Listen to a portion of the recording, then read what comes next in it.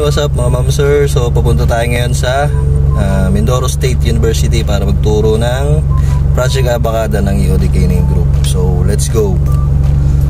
Ito at nakarating na rin kami dito sa Mindoro State University, Calapan City Campus. Nag-aantay na rin yung mga estudyante ng BS Criminology kaya simulan na rin natin yung gagawin nating lecture. management. So, i-assist.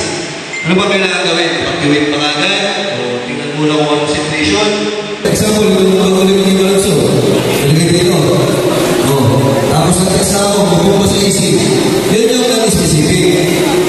Specific, kanina yung description.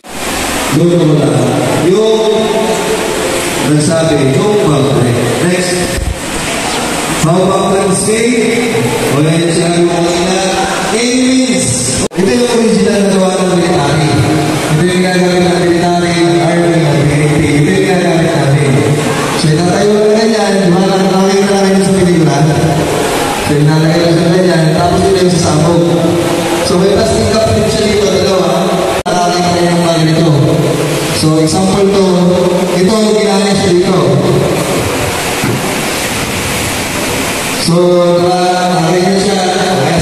So, ayan dito tapos na yung lecture kaya mag-iwan tayo sa kanila ng konting regalo.